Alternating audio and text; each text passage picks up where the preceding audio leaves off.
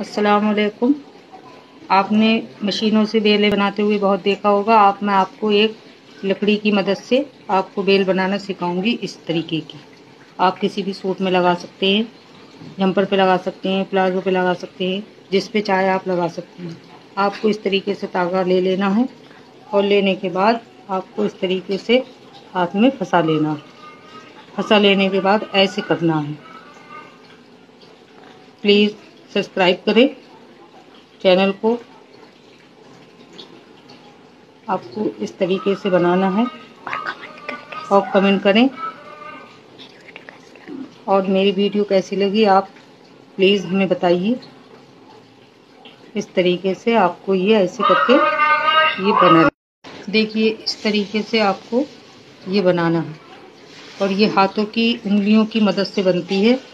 इसमें ना कोई झंझट है ना कोई मशीन का है ना कोई कारीगर है सिर्फ़ दिमाग और उंगलियों का काम है।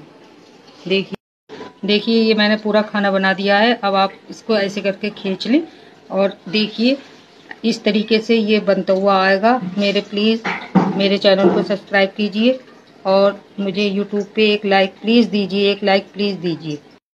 दुपट्टे के किनार से लगा सकते हैं प्लाजो के किनार से लगा सकते हैं जैसे चाहे आप लगा सकते हैं।